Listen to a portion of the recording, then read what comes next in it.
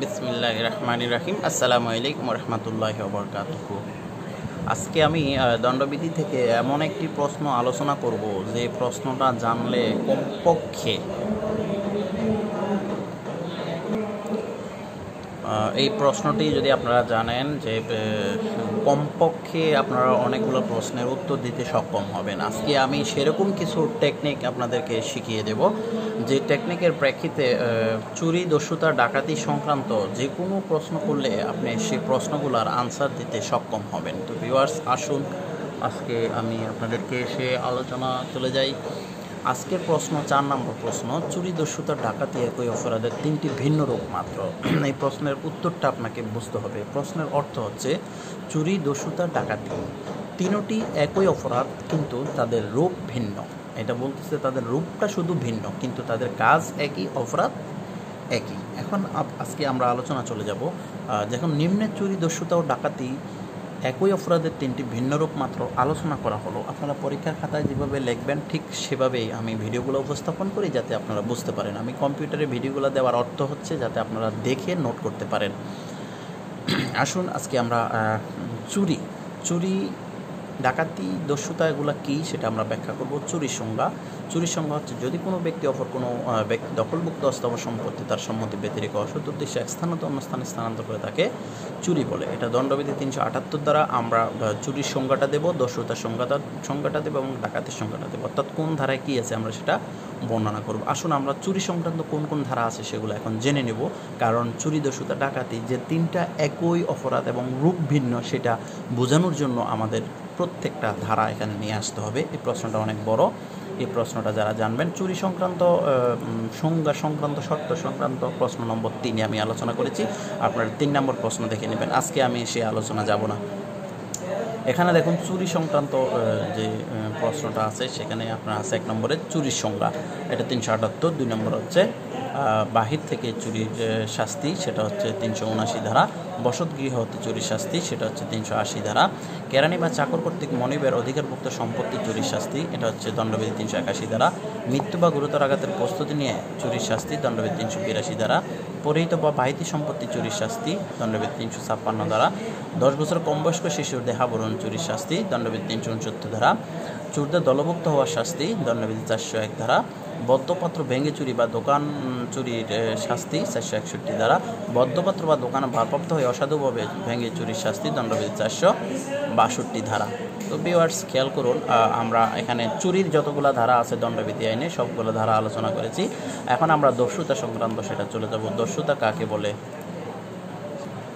আসুন আমরা দস্যুতার সংজ্ঞাটা জেনে নিই। দস্যুতার সংজ্ঞা, যদি কোনো ব্যক্তি অপর কোনো ব্যক্তিকে তাৎক্ষণিক মৃত্যু বা গুরুতর আঘাতের ভয় দেখিয়ে কোনো অস্থাবর সম্পত্তি অর্পণে বাধ্য করে বা ছিনিয়ে নেওয়ার চেষ্টা করে বা ছিনিয়ে নেয়, তাকে দস্যুতা বলে। অর্থাৎ কোনো, এখানে দস্যুতার সংজ্ঞাটা আমি ইতিপূর্বে আলোচনা করি নাই, সেহেতু আজকে আমি দস্যুতার সংজ্ঞাটা আপনাদেরকে বুঝিয়ে দেওয়ার চেষ্টা করব দস্যুতার সংজ্ঞা।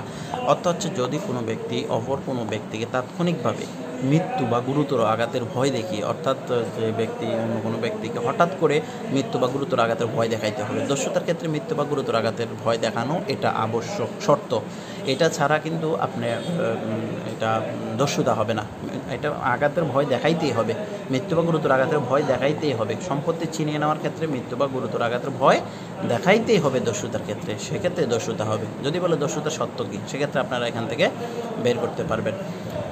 মৃত্যু বা গুরুতর আঘাতের ভয় দেখিয়ে কোনো অস্থাবর সম্পত্তি আর একটা জিনিস খেয়াল করতে হবে। দস্যুতা হয় শুধুমাত্র অস্থাবর সম্পত্তির ক্ষেত্রে, এটা খেয়াল করতে হবে। অস্থাবর সম্পত্তি অর্পণে বাধ্য করে মানে যে সম্পত্তিটা আপনাকে দেওয়ার জন্য আপনি ভয়ভীতি দেখায় বাধ্য করলেন, অথবা আপনি জোরপূর্বক ছিনিয়ে নিলেন, অথবা নেওয়ার চেষ্টা করলেন, এক্ষেত্রে কিন্তু দস্যুতা হয়ে যাবে। এটা দণ্ডবিধি তিনশো নব্বই দ্বারা।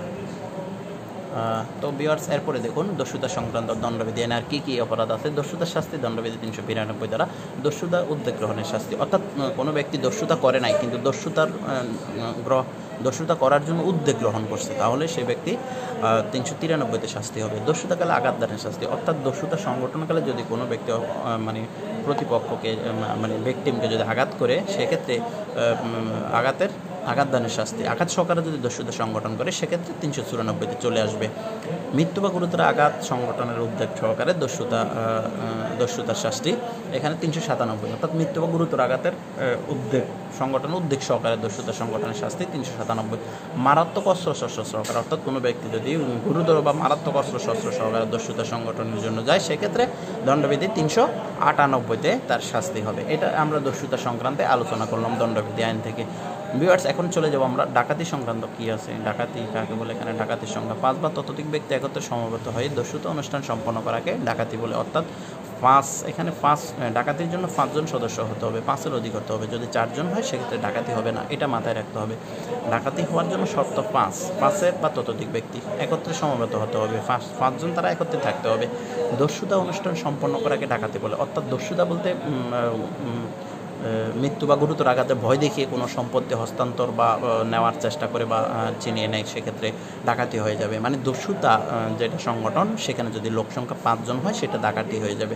আর লোক সংখ্যা যদি চারজন থাকে, সেটা দস্যুতা হবে। অর্থাৎ দুইটা কাজই প্রকাশ্যে করে। এরপরে দেখুন দস্যুতার ডাকাতির সংজ্ঞা হচ্ছে, দণ্ডবিধি তিনশো একানব্বই দ্বারা। এরপরে দেখুন ডাকাতির শাস্তি হচ্ছে দণ্ডবিধি তিনশো পঁচানব্বই দ্বারা, খুন সহকারে ডাকাতির শাস্তি হচ্ছে দণ্ডবিধি তিনশো ছিয়ানব্বই দ্বারা। অর্থাৎ যদি ডাকাতি করতে গিয়ে কোনো ব্যক্তি খুন করে ফেলে, সেক্ষেত্রে এই ধরনের ডাকাতির শাস্তি তিনশো ছিয়ানব্বইতে হবে। মৃত্যু বা গুরুতর আঘাত সংগঠনের উদ্যোগ সহকারে ডাকাতির শাস্তি, অর্থাৎ মৃত্যু বা গুরুতর আঘাতের উদ্যোগ নিয়ে যদি কোনো ব্যক্তি ডাকাতি করতে যায়, কোনো ডাকাত দল, সেক্ষেত্রে তিনশো সাতানব্বই দ্বারা শাস্তি হবে। মারাত্মক অস্ত্র শস্ত্র সহকারে ডাকাতির শাস্তি, অর্থাৎ দণ্ডবিধি তিনশো আটানব্বই দ্বারা।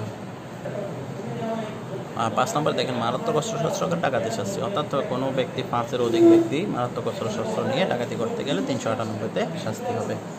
এরপর ছয় নম্বরে দেখুন, ডাকাতের প্রস্তুতি গ্রহণের শাস্তি, অর্থাৎ ডাকাতি করে নাই, ডাকাতি করার জন্য প্রস্তুতি নিচ্ছে। এটা করলে তাহলে দণ্ডবিধি তিনশো নিরানব্বইতে শাস্তি হবে।